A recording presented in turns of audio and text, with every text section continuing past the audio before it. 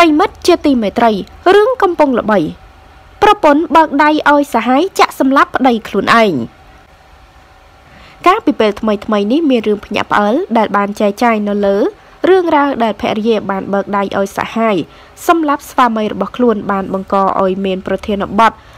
ក្តៅកកកសាជាថ្មីនៅលើបណ្ដាញសង្គមលើករណីឃាតកម្មនៅប្រទេសថៃ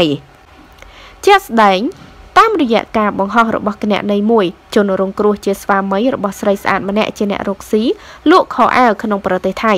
ដែលថ្ងៃកើតហេតុស្វាមីរបស់ខ្លួនបានប្រទះឃើញនាងនៅជាមួយនឹងសហាយប្រុសរឿងនឹកស្មានមិនដល់នោះ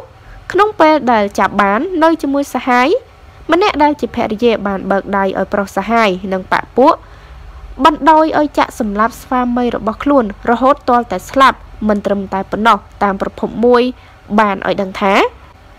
គឺនាងបានឈរខ្វល់ខ្វាយនឹងប្រុសសហាយមិនអើពើខលហៅឡានពេទ្យដើម្បីជួយស្វាមីឡើយ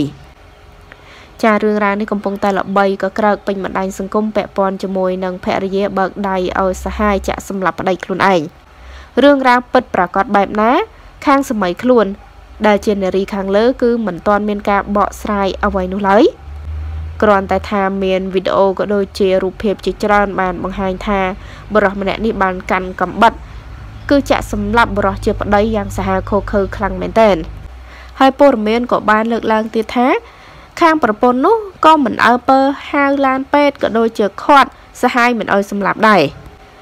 យើងមានតែរងចាំមើលបន្តទៀតថាព័ត៌មាននេះអាប់ដេតបែបណាអរគុណច្រើនប្រិយមិត្តទាំងអស់គ្នាតេតងនឹងព័ត៌មាននេះដែរក៏សូមបញ្ចប់តែត្រឹមនេះសូមចុច Subscribe និងរូបកណ្ដឹងដើម្បីទទួលបាននូវព័ត៌មានថ្មីៗជាបន្តទៀតសូមអរគុណ